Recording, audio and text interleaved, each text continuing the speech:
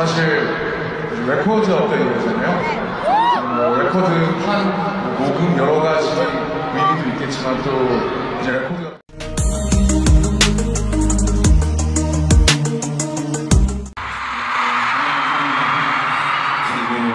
어, 뭔가 어, 이 제가 좋아하는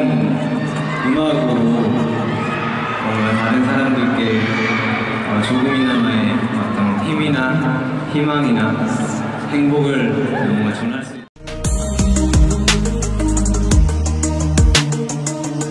아, 네. 어,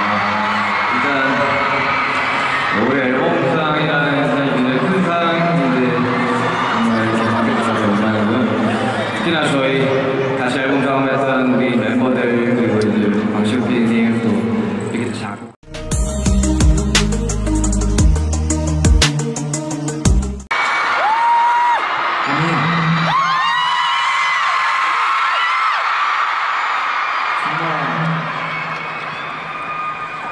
초등학교 때 아플로 먹던 아이가 지금 이 자리에 있네요.